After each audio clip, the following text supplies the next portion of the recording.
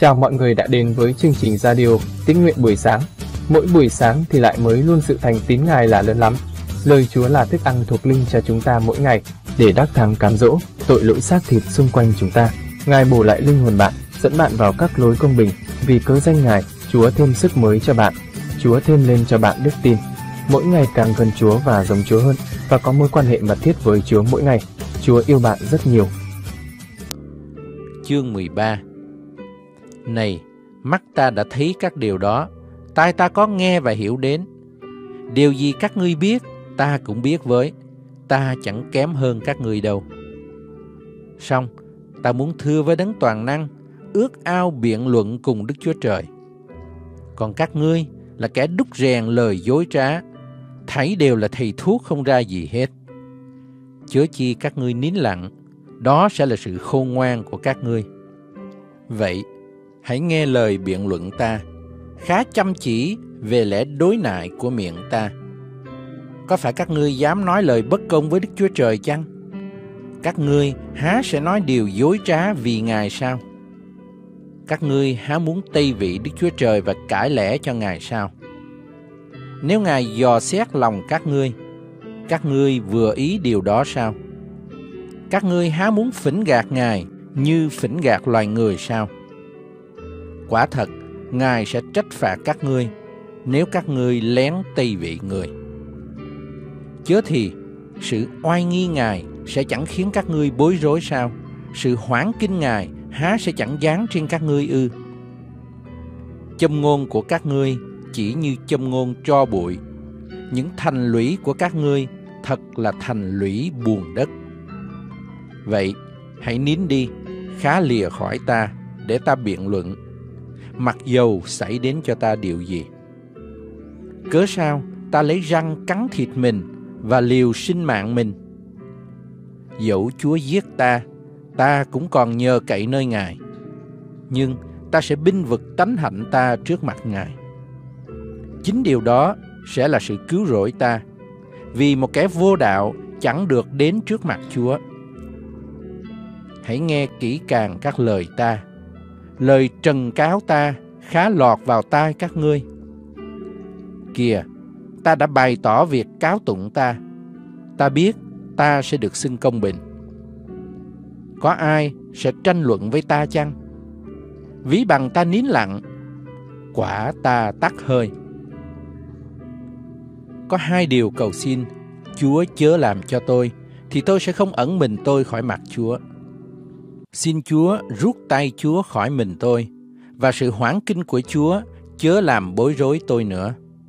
Đoạn hãy gọi tôi, tôi sẽ thưa lại.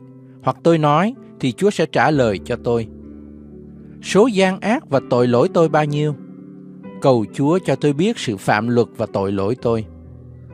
Nhưng sao Chúa giấu mặt Chúa và cầm bằng tôi là kẻ cừu địch Chúa?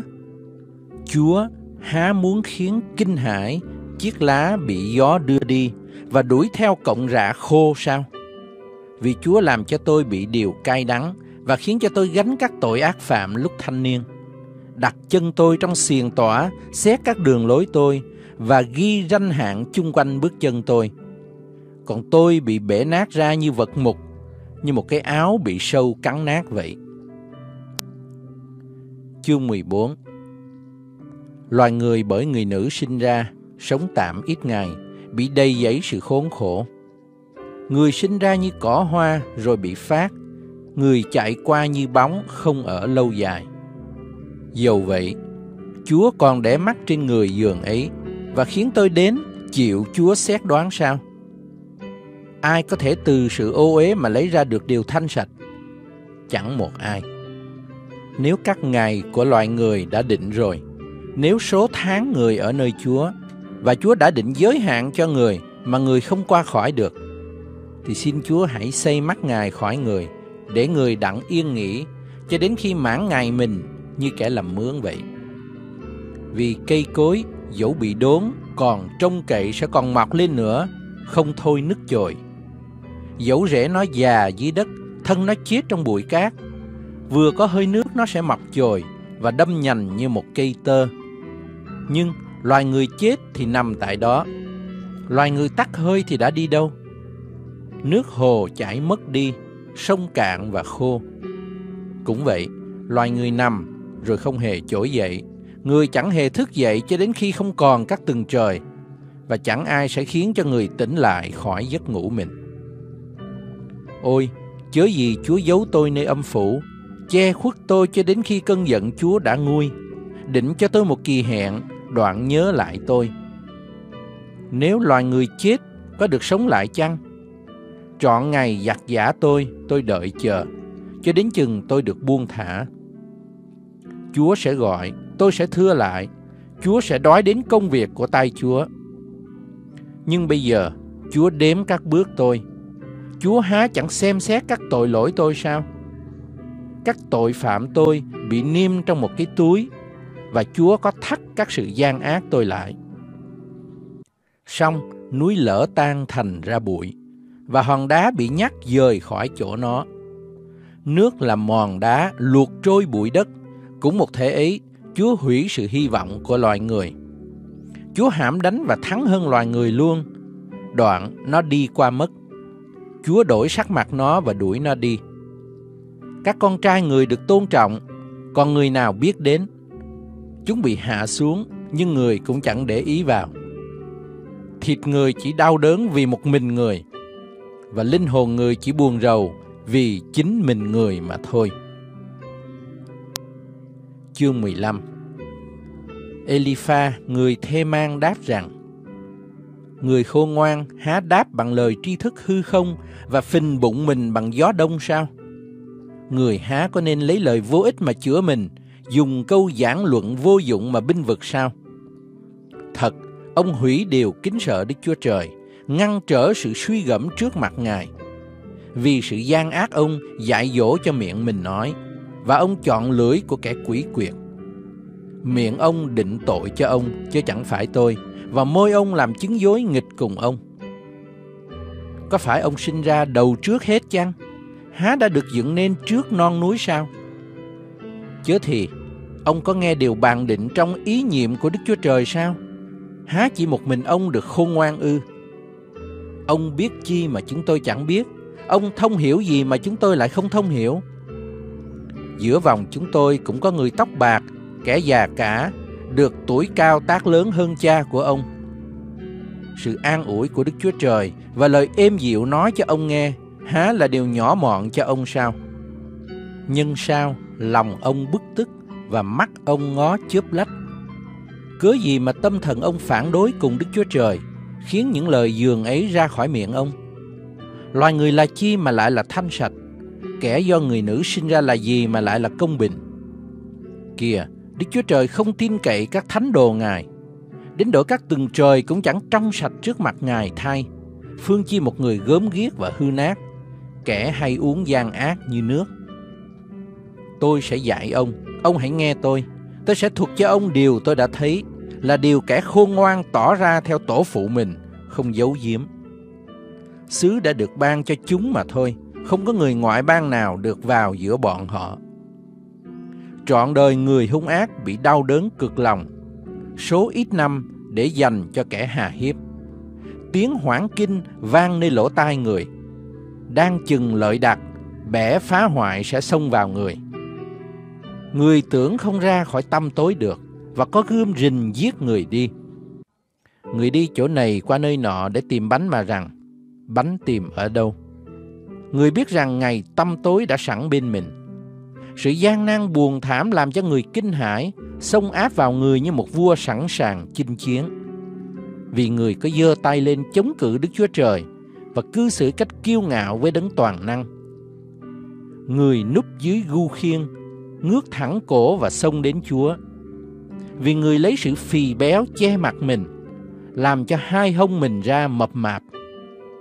Người đã ở những thành bị phá hoại, ở những nhà bỏ hoang gần trở nên đổ đống.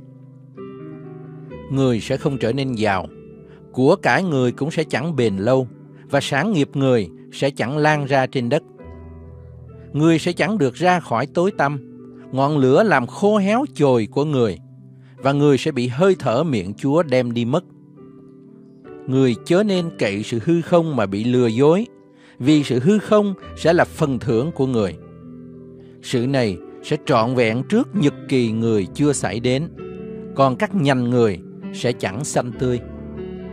Người bỏ quay trái xanh mình như một cây nho, người làm rụng hoa mình như cây olive.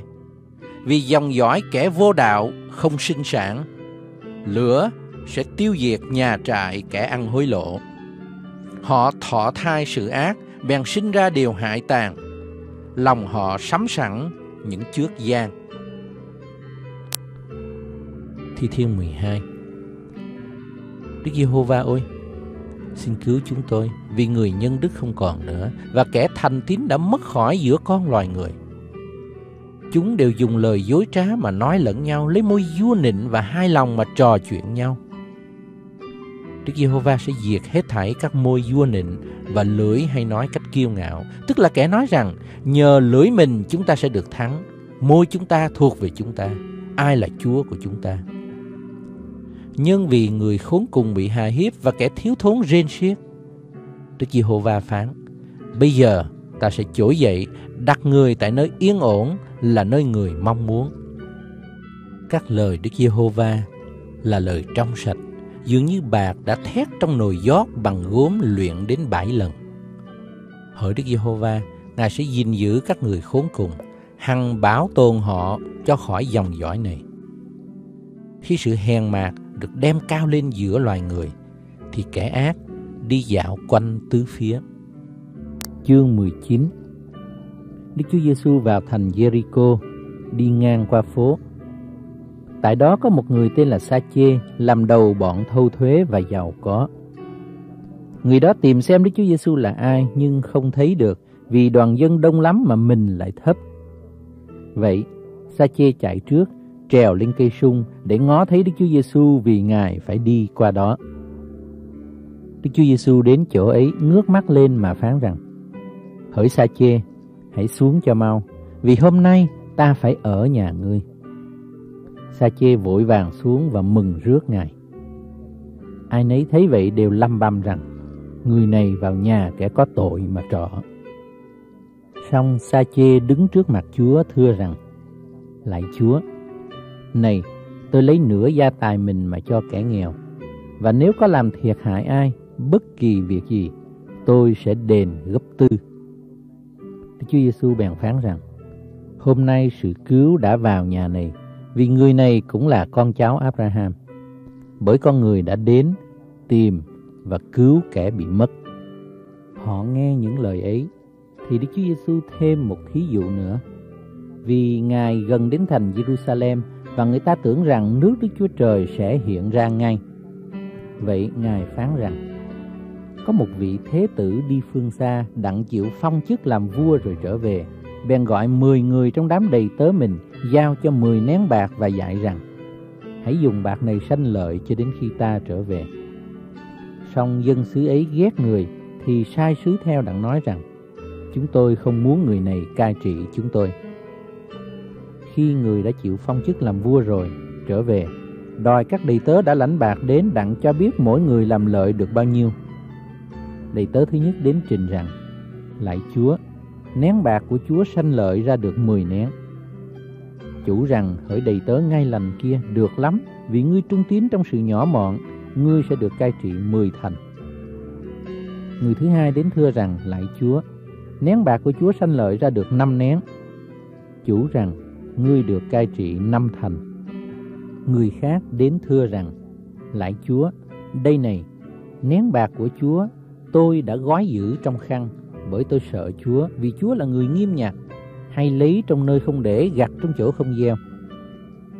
Chủ rằng, hỡi đầy tớ ngoan ác kia, ta cứ lời ngươi nói ra mà xét ngươi. Ngươi đã biết ta là người nghiêm nhặt, hay lấy trong nơi không để gặt trong chỗ không gieo cớ sao ngươi không giao bạc ta cho hàng bạc khi ta về sẽ lấy lại vốn và lời chủ lại nói cùng các người đứng đó rằng hãy lấy nén bạc nó đi cho người có 10 nén họ bèn thưa rằng lạy chúa người ấy có 10 nén rồi ta nói cùng các ngươi ai có thì sẽ cho thêm song ai không có thì sẽ cất luôn của họ đã có nữa còn như những kẻ nghịch cùng ta, không muốn ta cai trị họ. Hãy kéo họ đến đây và chém đi trước mặt ta. Sau khi Đức Chúa Giêsu phán điều đó thì đi trước mặt dân chúng lên thành Jerusalem. Đức Chúa Giêsu gần đến thành Bethphage và Bethany ngang núi gọi là Olive, sai hai môn đồ đi và dặn rằng: Hãy đi đến làng trước mặt các ngươi. Khi vào làng, sẽ thấy một lừa con buộc đó chưa hề có ai cởi. Hãy mở và dắt về cho ta. Hoặc có ai hỏi sao các ngươi mở nó ra, hãy trả lời rằng, Chúa cần dùng lừa này. Hai người được sai ra đi, quả gặp mọi điều y như Đức Chúa Giêsu đã phán. Đang mở lừa con, các chủ lừa hỏi rằng, sao mở lừa con này ra? Hai người trả lời rằng, Chúa cần dùng nó. Hai người bèn dắt lừa về cho Đức Chúa Giêsu, lấy áo mình trải trên con lừa, nâng ngài lên cởi. Khi Đức Chúa Giêsu đang đi tới, có nhiều kẻ trải áo trên đường. Lúc đến gần dốc núi Olive, cả đám môn đồ lấy làm mừng rỡ và cả tiếng ngợi khen Đức Chúa Trời về những phép lạ mình đã thấy mà nói rằng: Đáng ngợi khen vua nhân danh Chúa mà đến, bình an ở trên trời và vinh hiển trên các nơi rất cao. Bây giờ có mấy người Pharisee ở trong đám dân đông nói cùng Ngài, Thưa Thầy, xin quở trách môn đồ Thầy. Ngài đáp rằng, ta phán cùng các ngươi, nếu họ nín lặng, thì đá sẽ kêu lên. Khi Đức Chúa Giêsu gần đến thành, thấy thì khóc về thành và phán rằng, Ước gì, ít nữa là ngày nay, mày đã hiểu biết sự làm cho mày được bình an. Song hiện nay, những sự ấy kín dấu nơi mắt mày, vì sẽ có ngày xảy đến cho mày. Khi quân nghịch đào hố xung quanh mày, vây mày chặt bốn bề. Họ sẽ hủy hết thảy mày và con cái ở giữa mày nữa, không để cho mày hòn đá này trên hòn đá kia, vì mày không biết lúc mình đã được thăm viếng. Đức Chúa Giêsu vào đền thờ rồi bèn đuổi những kẻ bán ở đó ra mà phán rằng: Có lời chép rằng nhà ta sẽ là nhà cầu nguyện, song các ngươi làm thành ra một cái hang trộm cướp. Hằng ngày Ngài giảng dạy trong đền thờ, các thầy tế lễ cả các thầy thông giáo cùng người tôn trưởng trong dân tìm phương giết Ngài. Nhưng họ không biết dùng trước chi vì dân sự đều chăm chỉ mà nghe Ngài nói. Chương 20 Một ngày trong những ngày đó, Đức Chúa Giêsu đương dạy dỗ dân chúng trong đền thờ và rao truyền tin lành. Thì các thầy tế lễ cả các thầy thông giáo và các trưởng lão đến thình lình hỏi ngài như vậy. Hãy nói cho chúng tôi bởi quyền phép nào mà thầy làm những điều này hay là ai đã ban cho thầy quyền phép ấy? Ngài đáp rằng ta cũng hỏi các ngươi một câu hãy nói cho ta, phép bắp tim của dân đến bởi trên trời hay là bởi người ta và những người ấy bàn cùng nhau rằng, nếu chúng ta nói bởi trời thì người sẽ nói với ta rằng, vậy sao các ngươi không tin lời người? Lại nếu chúng ta nói bởi người ta thì cả dân sự sẽ ném đá chúng ta vì họ đã tin chắc dân là một đấng tiên tri. Vậy nên họ trả lời rằng, không biết phép ấy bởi đâu mà đến. Đức Chúa Giêsu bèn phán rằng: Ta cũng không nói cho các ngươi bởi quyền phép nào ta làm những điều này. Đức Chúa Giêsu phán cùng dân chúng lời thí dụ này: Người kia trồng một vườn nho, đã cho kẻ trồng nho mướn rồi bỏ xứ đi lâu ngày. Đến mùa nho, chủ sai một đầy tớ tới cùng những kẻ trồng nho đặng nhận một phần hoa lợi. Xong bọn trồng nho đánh đầy tớ đuổi về tay không.